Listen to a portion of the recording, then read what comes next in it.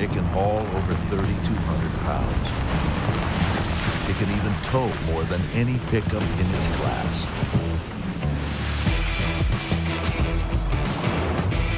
And it practically parks itself. Now, after all that hard work, a nice night on the town seems in order, don't you think? Ford F-150, built Ford proud.